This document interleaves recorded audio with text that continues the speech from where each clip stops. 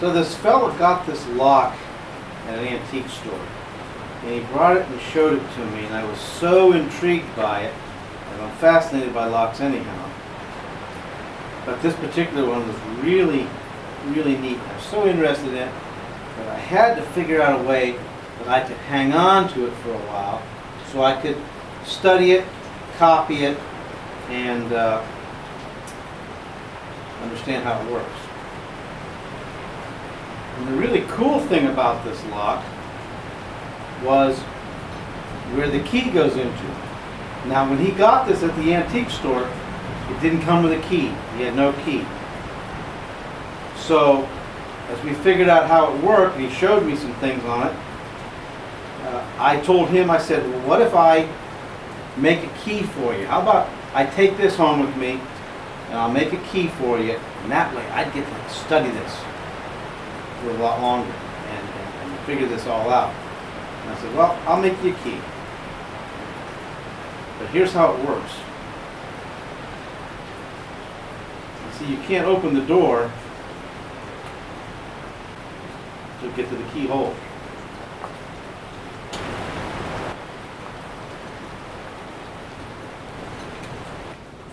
The intriguing thing about this lock is it's a, it, it has some secret catches on it. To get the door open, we know that the keyhole's behind here.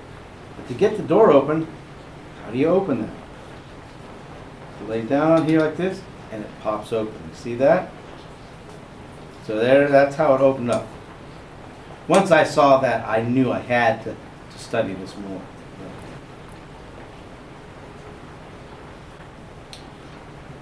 So I took a block of steel, half inch by about an inch and a quarter, and I started to cut away at the metal. And first, the first thing I had to do was drill the hole for the barrel. And then reduce the metal here by grinding on a grinding wheel.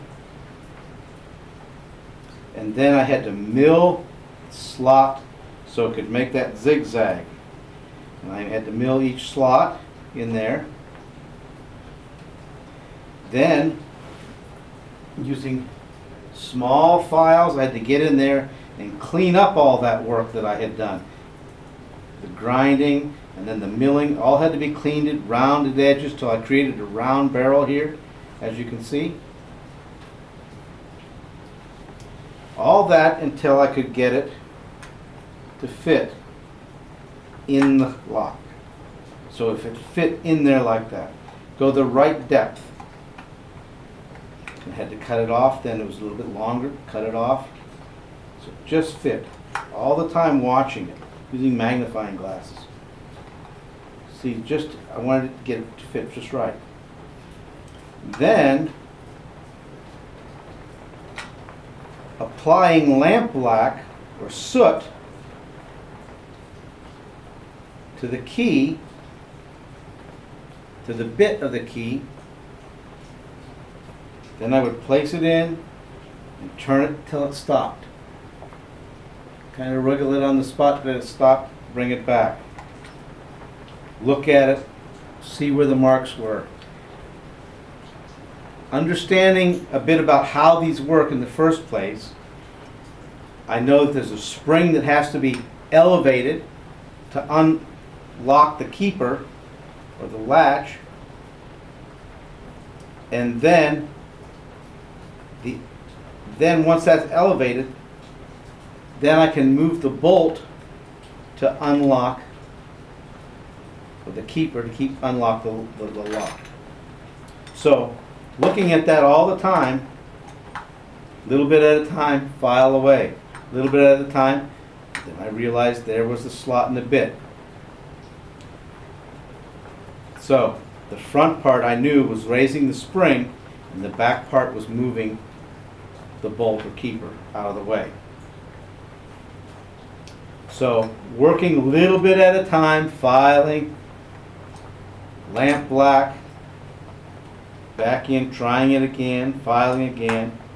I finally got it. And I tried either way. I finally got it to turn. And it went. It turned. It turned easily. It was okay. But it wouldn't open.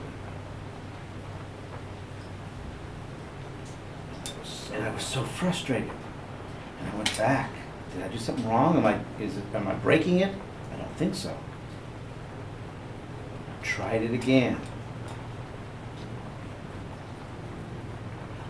And I got out the magnifying glass and I looked at it. And I looked at it down in here where the which side does it catch on? And with bright light, with light down in there, and my magnifying glass is on so I can see what's going on. I turned it and I could see the bolt falling back out of it. Clearly out of the way. It would not open. I was so frustrated. What is wrong?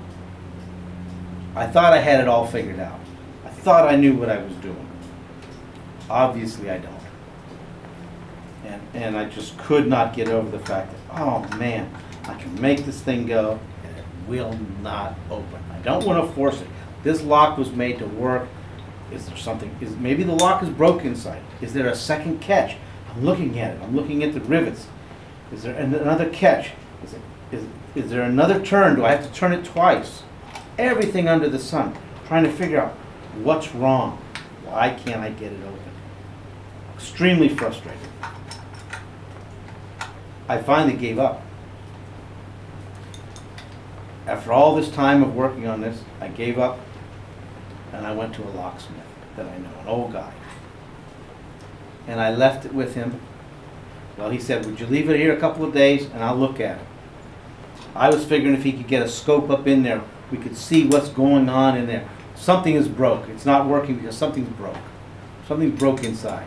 That's why it ended up where it did, without the key.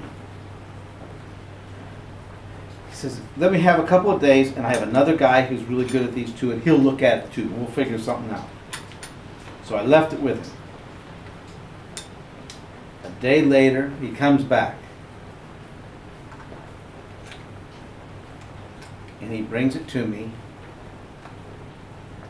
He turns the lock like that and opens it right up. And I wondered, what'd you do? So right away I took the key out. And I looked at the key. What's different? What did he do different? And the key was the same. He hadn't altered my key at all. What was wrong with this thing? My key was the same. But he got it open. Let me show you how it works. Okay, here's how this lock works. First, you have to pull down on this make the door open. And it's a spring-loaded door and it comes out. Second, you undo the bolt. Still won't open. Watch this. Here's the back of the lock. Pull this to the side, it opens. You see there's another catch right in here this thing gets, touches. Watch this as I close it.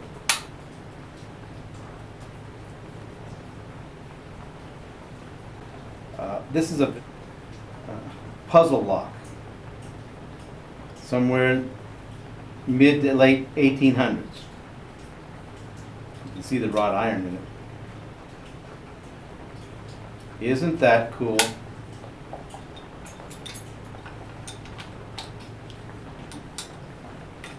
Again.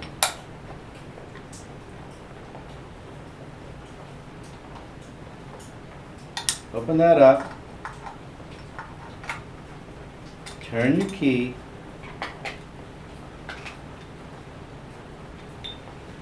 And then it'll open. Pull that to the side. And then it'll open.